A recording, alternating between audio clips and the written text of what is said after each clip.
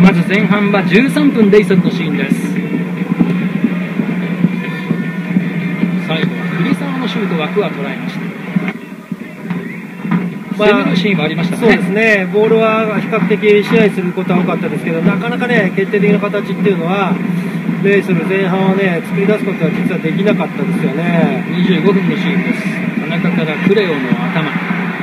最終的にはオフサイドになってましたまあ、これはいいカウンターからでしたけどね。そして37レフティ田中純也です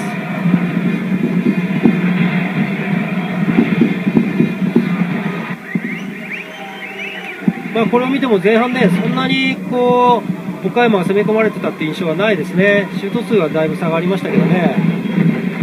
0対0でゲーム後半に折り返します。75分のレイソン。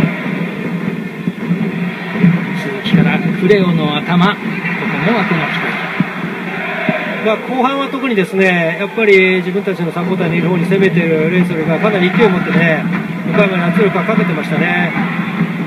終了間際89分のシーン。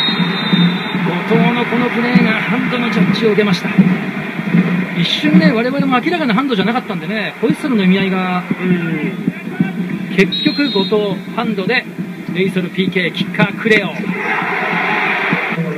シまあュートね、スピードははい。キーパーのね、中林もよく読んだんですけどね、まあ、クレもよく落ち着き決めましたよ。プレッシャーかかってたと思いますけどね、まあ、レイソルがやっぱりね、中央固められてたんで、岡山にね、でサイドからどうやってこう崩していくかっていうテーマの中で、両サイドやっぱり選手交代をして、ですねフレッシュな選手を入れて、そこで活性化させたっていうのが、この PK を誘ったっていうことになったんだと思いますね。ん。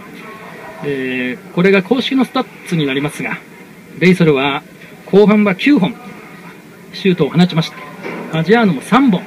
ただこの流れの中でのそのシュートではなくて結果、シュー消したのは PK ということになりました。